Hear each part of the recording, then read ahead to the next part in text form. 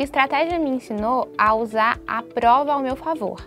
Então, os professores, eles sempre falavam pra gente assim, olha, a prova funciona assim, a prova vai querer isso de você, ela vai exigir isso de você. E aí eu não tinha que dar tiro para todo lado, eu não, tinha que, eu não ficava perdida nos meus estudos, eu sabia para que estudar. Então, ter um estudo direcionado foi o que fez a diferença entre o ano que eu não fui aprovada e o ano que eu fui aprovada.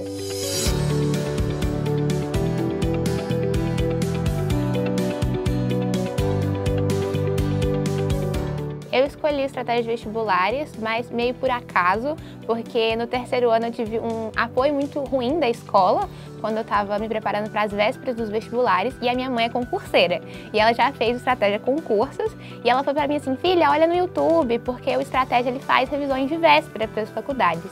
Eu fiz a revisão de véspera e eu me apaixonei, assim, pela primeira vista, pelos professores, e aí depois eu fui olhar as aulas gratuitas que o estratégia oferece, e eu falei assim, é o meu cursinho, eu quero esse cursinho, e assim, foi que me aprovou.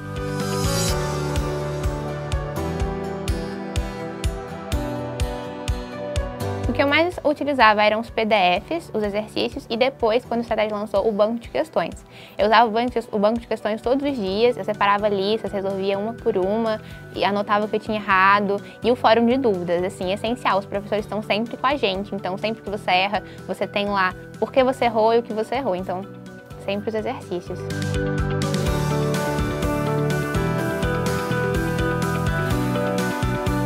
Eu falo que assim, estudar para medicina não é uma corrida de, tipo assim, 100 metros, é uma maratona. Então, você não pode, assim, é, começar muito eufórico, querer fazer 12, 13 horas de estudo por dia, se desgastar e falar, não consigo, porque no começo você não vai conseguir mesmo. Você vai ganhando rendimento. Se você não está conseguindo estudar hoje, estuda as matérias que você gosta, porque você vai perceber que você vai pegando ritmo, que você vai conseguindo fazer as coisas, e você vai adquirindo velocidade de estudo, você vai adquirindo rendimento, e as coisas vão fazendo ligações. Por isso que a gente, por exemplo, estratégia estratégia tem história do zero, português do zero, matemática do zero, e quando você chega nos conteúdos mais avançados, as coisas começam a fazer sentido para você. E é muito legal quando você está estudando e você pensa, cara, isso está fazendo sentido para mim. E isso eu acho que é o mais importante quando você estuda para medicina, é que as coisas comecem a fazer sentido para que quando chegar na hora da prova, principalmente para o Enem, em que as questões são interdisciplinares, que você consiga fazer com que aquilo faça sentido para você.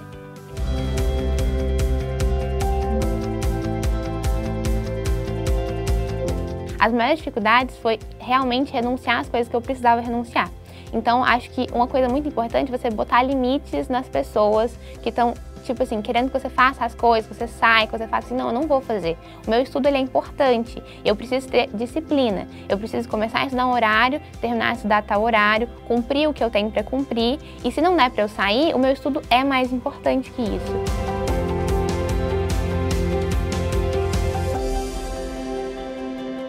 Eu acho que assim, quando está estudando online, você sai da caixa das escolas e dos cursinhos, que é você tem que fazer tantas aulas, tantas horas, tantos exercícios, e você tem um estudo mais independente.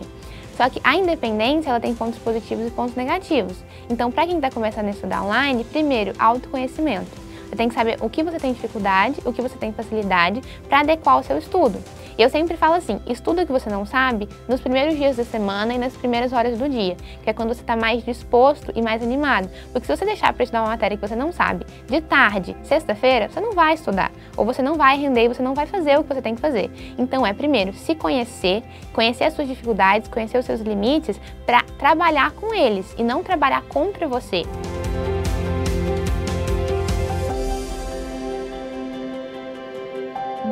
Eu acho que se eu tivesse que definir estratégia em uma palavra, eu teria que definir em duas, porque eu sou uma pessoa de muitas palavras.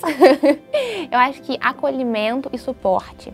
O estratégia te dá acolhimento porque você, ele te faz sentir parte de alguma coisa, de um processo. Ele mostra que você não está sozinho, que você tem todo um suporte, uma rede de apoio de pessoas que querem que você passe no vestibular e uma rede de, tipo assim, suporte mesmo. Porque eles vão estar tá lá, eles vão estar tá lá te sustentando. Quando você não estiver conseguindo, quando você não você estiver desanimado, eles vão estar tá lá com você, pilares da sua aprovação. E para mim, isso foi uma das coisas essenciais, saber que eu não estava sozinha no processo, que eu tinha gente lutando comigo.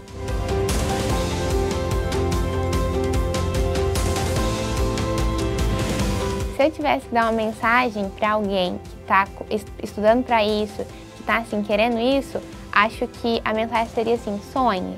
sonhe muito, sonhe de verdade, porque o que vai motivar você, o que vai fazer você levantar da cama são os seus sonhos, é a expectativa, é você pensar que um dia vai ser você, no lugar que eu tô hoje, você vai estar, tá, você vai estar tá comemorando as suas conquistas. E tenha disciplina e perseverança, porque o seu caminho só quem traça é você, ninguém pode fazer isso por você. E essa é a coisa que você tem que pôr na sua cabeça. As pessoas podem te atrapalhar ou elas podem te ajudar, mas elas não podem te impedir de fazer nada e nem fazer nada por você. Então você tem que assumir o controle, assumir a rédea da sua vida e decidir se você quer aquilo, que você vai fazer aquilo.